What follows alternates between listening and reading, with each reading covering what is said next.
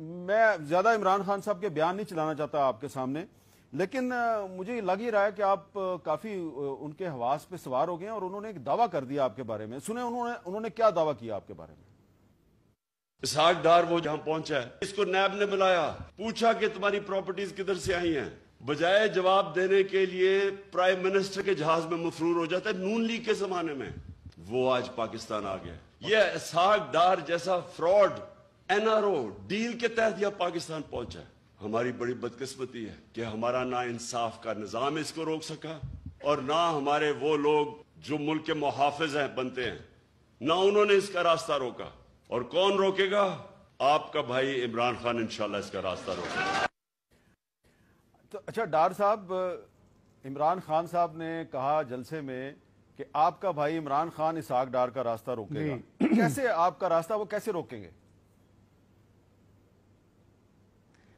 देखिए बीर साहब एक सेंटेंस अर्लियर सवाल के हवाले से ये आप आप अगर चाहें तो व्यूअर्स को बता दें वरना मैं बता देता हूँ कि मैं आपके साथ खड़ा हुआ क्योंकि इमरान खान झूठ बोल रहा था। अच्छा। वो मुझे ये कह रहा था कि ये कह दे कि मैं, मैंने ये मैंने ये नहीं कहा और यानी आपने गलत खबर जो है वो जंग में छुपाई है। हालाँकि आपने मनोवन वही बात लिखी जो हुई ये लहदा बात थी ऑफ़ द रिकॉर्ड थी फॉर्मल फ़ंक्शन के बाद मेरे कमरे में प्रेसिडेंट के कमरे में हम बैठे थे, हमारे यानी लाहौर चैम्बर में तो ये उनका करेक्टर है। आज से नहीं है। बदतरीन झूठा आदमी है। बहुत ज़्यादा बुजदल आदमी है। ये जो सारे, इनको जो खड़ा किया ना, आपको याद है? जब जजों की यानी बहाली के लिए मियाँ नवाज़ शरीफ निकले तो ये तो दस फुट का गेट फ्लांग कर, के भाग गए थे पिंडी से। एक ऐसा चूँकि मार थे। ये तो कोई उठाने वालों ने इनको हिम्मत दी, इनको खड़ा किया, इनको लॉन्च किया तो वो जो बहादुरी इनके दिमाग में घुस गई कि शायद मैं एक सचमुच का, एक लीडर हूँ और आपने देखा कि जब से ये निकले हैं तो ये अदारों को भी बेपना तनकीद का निशाना बना रहे हैं और इनको शर्म आनी चाहिए कि जो लोग जिन्होंने इनकी मदद की, वो अब उनके खिलाफ भी इनकी जो बातें हैं और आप एक झूठ है। अभी ऑडियो लीक्स देख लें, उसमें क्या था? उसमें यह साबित हो गया कि साजिश अपोजिशन ने नहीं की थी। साजिश इमरान खान ने अपने प्रिंसिपल सेक्रेटरी के साथ मिलकर की और पाकिस्तान को बदनाम किया। हर जगह पे पाकिस्तान को बदनाम किया और हर सब्जेक्ट में पाकिस्तान को बदनाम किया। तो ये जो कह रहे हैं ना, मैं आपके तवसत से चैलेंज करता हूँ इनको कि ये मैं, ये मुझे साबित करे कि मैंने खुदा न खास्ता को गलत काम किया है। और इमरान खान सुनो, अगर तुम्हें नहीं पता, पूरे कौम को पता है। कि मैंने कभी 20 मिनट ज़िंदगी में टैक्स रिटर्न डिले नहीं की। फाइनेंस मिनिस्टर जो तीन दफ़ा पाकिस्तान का रह चुका था, उसके खिलाफ ये जेटी ने इल्ज़ाम लगाया जो कि उस वक्त आपको लुक कर रही थी कि इसाक डार ने 20 साल 1981 टू 2001 टैक्स रिटर्न फ़ाइल नहीं की। मैंने कभी ज़िंदगी में डिले नहीं की और मैंने वो सारा जो है पूरे का पूरा अपनी रिटर्न्स का पूरा रिकॉर्ड लकीली मेरे पास सारा था। वो मैंने कोशिश की, लेकिन जो इंसाफ वाले थे, उनको वक्त नहीं था उस वक्त। लेकिन उसका एक सबूत है। वही केस, जो एक केस है मेरे खिलाफ, ये केसेस नहीं है, एक केस है। वही केस इंटरपोल में गया। इमरान खान और उसकी टीम जो है, रिपीटेडली ये कहती रही है दो महीने में लाएँगे, तीन महीने में लाएँगे, छह महीने में लाएँगे। हर हर हफ़्ते, हर महीने ये बैठे हुए होते थे टेलीविज़न पर। मैंने वही सबूत, मैंने इंटरपोल को भेज दिया। इंटरपोल ने मुझे क्लियरेंस सर्टिफिकेट भेजा कि आपके खिलाफ हमने देख लिया हर चीज़ सीधी है। पाकिस्तान इसकी हुकूमत के मुँह को तमाचा मारा और इनको इनकार किया कि आपको हम ये काम रेड वारंट नहीं इशू करेंगे।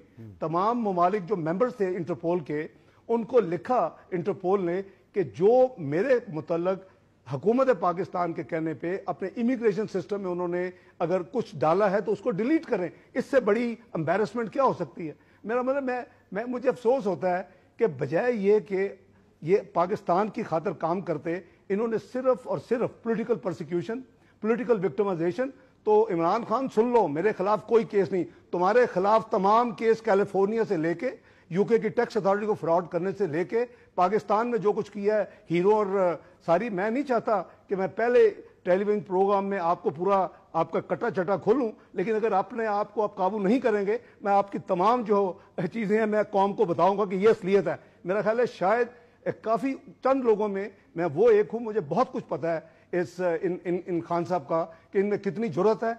ये हर चीज़ कितना ये सच बोलते हैं कितना ये ईमानदार अमीन और सादक है ये अपने पास रखें। ये बस इतना काफ़ी है। मेरा ख्याल है मेरी वार्निंग को सीरियस समझें वरना उनकी मेरी पब्लिक जंग शुरू होगी। तो मैं ना किसी डील का हिस्सा हूँ ना मैंने किसी से कोई कोई एनआरओ मांगा है। एनआरओ आप मांगते हैं। एनआरओ आपने अपनी फैमिली को दिए हैं। जिस टैक्स एमनेस्टी का मैंने ओईसीडी का पाकिस्तान को मेंबर बनवाया और दुनिया में अब एक्सचेंज ऑफ़ इंफॉर्मेशन होनी थी, मैं 20 16 17 की बात कर रहा हूँ और मैंने कहा कि अब हम पूरे पाकिस्तान को एक एमनेस्टी स्कीम देंगे ताकि वो उनको बता दिया कि भाई 20 18 से बाद आपकी हर चीज़ बाहर है, वो पाकिस्तान आएगी।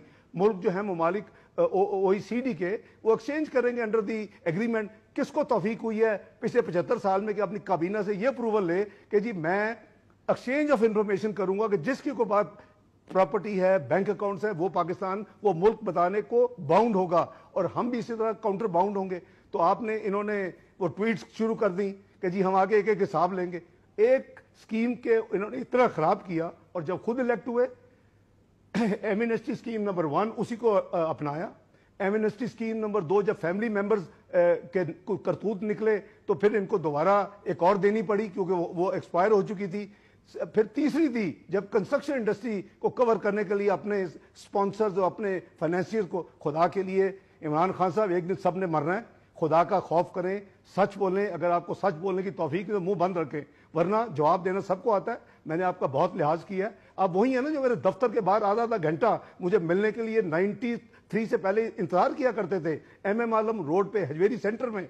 तो मैं नहीं चाहता कि मैं मैं बहुत कुछ जानता हूँ, लेकिन मुनासिब नहीं है। निहले जो उन्होंने घटियापन जलसों में दो तीन में तकरीर की हैं, मैं उसका जवाब नहीं, मैं दे सकता हूँ, लेकिन मैं नहीं देना चाहता। I am giving an opportunity कि अपने मुँह को बंद करें और आप इन एक इखलाकी दायरे के अंदर रह के बात करें। सियासत करना आपका हक है, अपना व्यू पॉइंट देना आपका हक है। आपका किधर है वो जो आपने कहा था कि लोन्स पाकिस्तान में आए पिछले दस साल में वो तितर बेतर हो गए और वो किधर है वो रिपोर्ट जो आपने एक कमीशन की थी, एक यानी एजेंसी को डिप्टी चेयरमैन नैब को आप पब्लिक करते।